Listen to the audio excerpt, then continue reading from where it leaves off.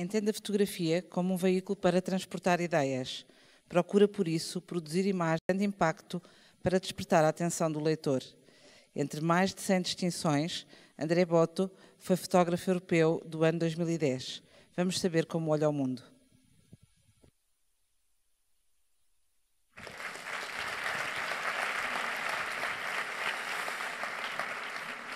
Bom dia a todos, bom dia Leiria. Uh, é verdade, o meu nome é André Boto e fotógrafo, essa coisa estranha que tem nome de hobby, mas que até pode ser uma atividade o tempo inteiro a 120%, como é o meu caso.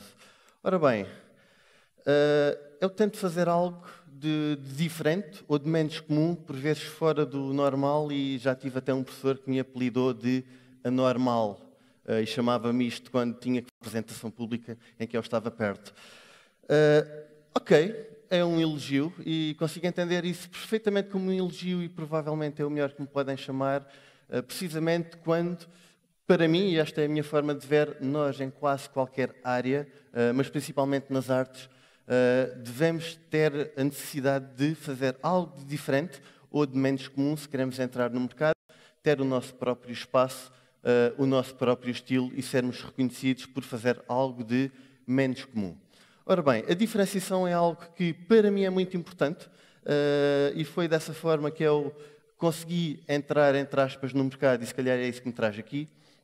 E acho que muitas vezes é necessário ver o mundo que nos rodeia, ter uma percepção daquilo que está à volta de nós uh, um pouco diferente do normal. É preciso Uh, isto é uma palavra gigantesca, mas recontextualizar, ou seja, reinterpretar o mundo e aquilo que nós temos à nossa volta. Porque muitas vezes uh, nós olhamos aquilo que nos rodeia e nós estamos a olhar, mas não estamos a ver. Uh, e muitas vezes, simples objetos que nós encontramos à volta, se sofrerem uma alteração e uma recontextualização, podem ser podem dar origem a imagens de impacto e simplesmente com um objeto, uma garrafa, uma qualquer coisa que está próximo de nós. Portanto, este conjunto de imagens são imagens que se pode, pode-se dizer que são imagens comerciais. Uh, há sempre uma ideia por trás. São imagens com... São muito simples, ideias muito simples. Há sempre uma ideia por trás de cada imagem. Uh, e tem uma leitura relativamente rápida. Portanto, uh, isto pode ser uma forma diferente de nós interpretarmos e de, de olharmos para aquilo que nos rodeia, tentando ver, tentando ver normalmente um pouco mais ou tentar ver algo que normalmente uh, as pessoas não costumam ver. Ou seja, tentar estar atento aos pormenores. Ora, este sou eu uh, e a minha cobra. Este não, não sou eu. Surrealismo. Eu tenho um projeto, provavelmente é o projeto mais importante da minha vida até agora, uh, e ainda tenho uma vida relativamente curta, espero fazer mais alguma coisa de importante, uh, é o surrealismo. Portanto, vocês vão ver um conjunto de imagens relativamente estranhas ou menos comuns a partir daqui. Uh, mas eu acho que nós, como bichos humanos que somos, e gosto de dizer que nós somos bichos porque às vezes somos mesmo estranhos, somos uma espécie de conjunto de experiências vividas e isso reflete-se uh, não só em nós como pessoas, mas também uh, naquilo que nós fazemos, naquilo que nós produzimos e se calhar enquanto artistas isso ainda se reflete mais. Portanto, se calhar interessa dizer um pouco que eu, antes de chegar à fotografia, já, estava, já tinha uma ligação forte às artes, desenhava bastante.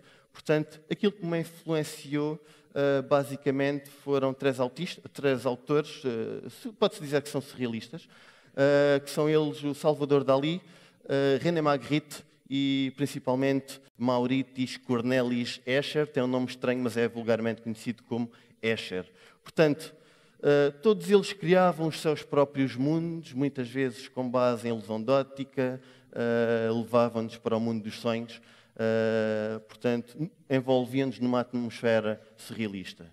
Eu acho que é relativamente simples, nós, como bichos humanos, gostar do surrealismo e deixar-nos envolver pelo surrealismo, porque provavelmente nós, desde sempre, quisemos atingir o impossível, quisemos atingir a perfeição, uh, queríamos algo que não nos era fácil uh, conquistar.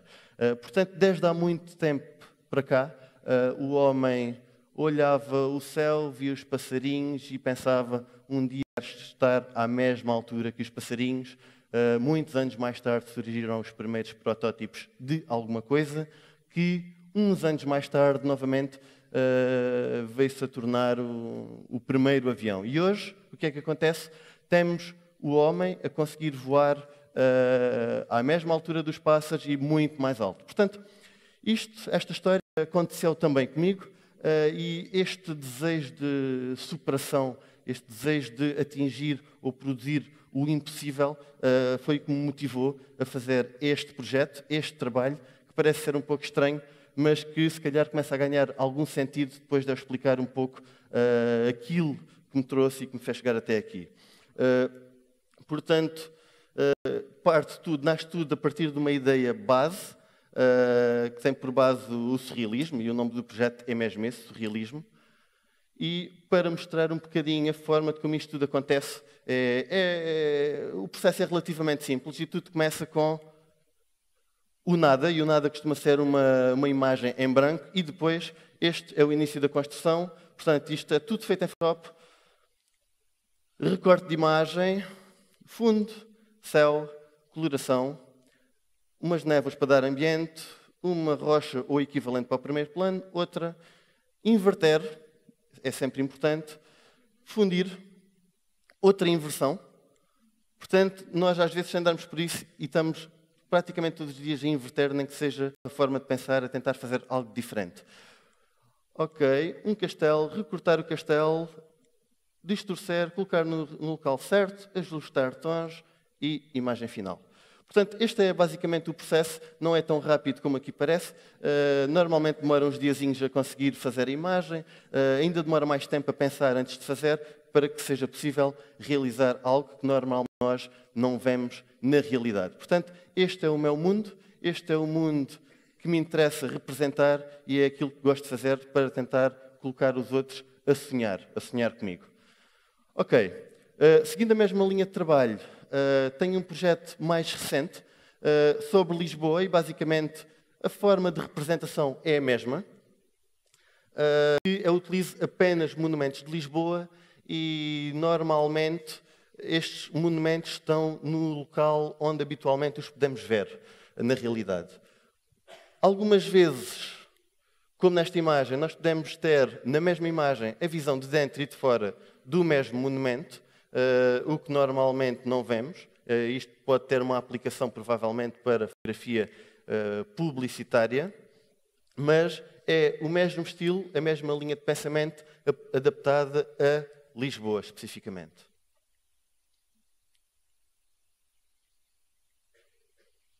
Ups. Ora bem, desde algum tempo a esta parte, o meu trabalho foi visto como sendo algo muito complexo, porque havia bastante fotomontagem, bastante trabalho feito em Photoshop. Uh, as próprias composições eram muito cheias de elementos, nós tínhamos muitos pormenores para ver, muitos pormenores uh, para ler, uh, e então surgiu a necessidade de criar alguma coisa que fosse mais simples, com menos fotomontagem, com uma leitura mais. E então criei um projeto, também este é um projeto mais recente, que é com base numa nuvem, com base nesta nuvem e sempre nesta nuvem. Portanto, uh, mais uma vez, trata-se de recontextualizar e tentar olhar uh, o mundo que nos rodeia de uma forma diferente, tentar atingir, por vezes, o efeito de surpresa, tentar fazer com que, quando os outros olham para mim, nossa, fiquem a pensar: epá, este gajo é maluco, como é que ele conseguiu lembrar-se de uma coisa destas? Portanto, quando os outros pensam isso de mim, uh, eu estou-me aqui auto-apelidar de maluco, mas quando os outros pensam isso do meu trabalho, provavelmente é porque estou no caminho certo e é porque estou a conseguir fazer alguma coisa que realmente se destaca uh, em relação ao que já existe. Portanto, isso é uma coisa que me agrada e que me faz feliz quando alguém pensa esse tipo de coisa sobre mim e sobre o meu trabalho.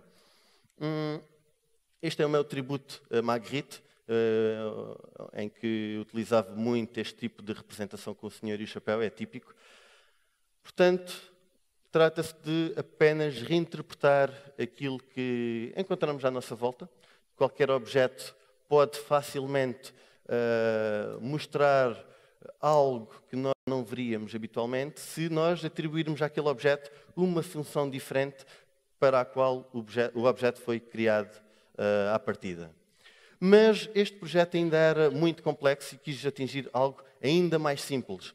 Ainda mais simples e sem fotomontagem absolutamente nenhuma. E então criei um projeto uh, ao qual eu chamo projeto de papel. E então é um projeto totalmente feito com papel, uma pequena tira de papel.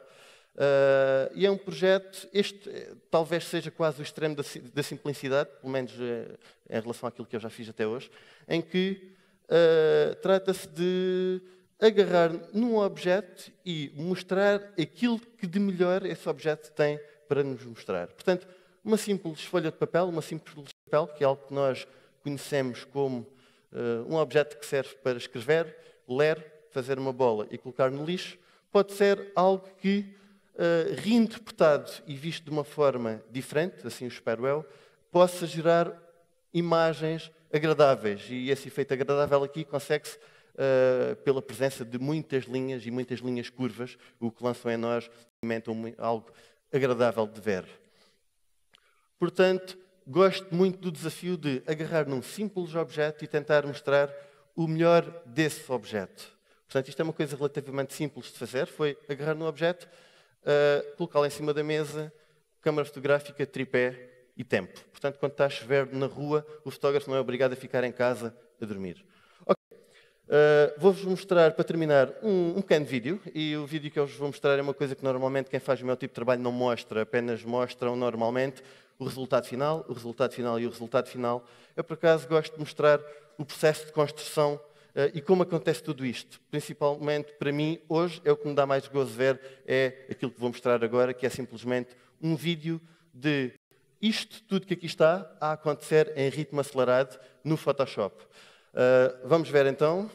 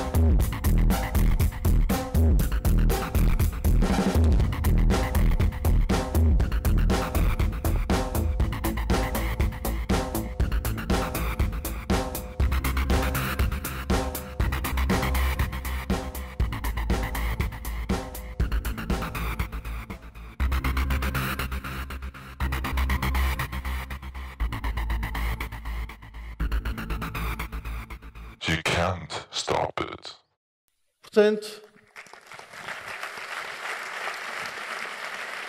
obrigado.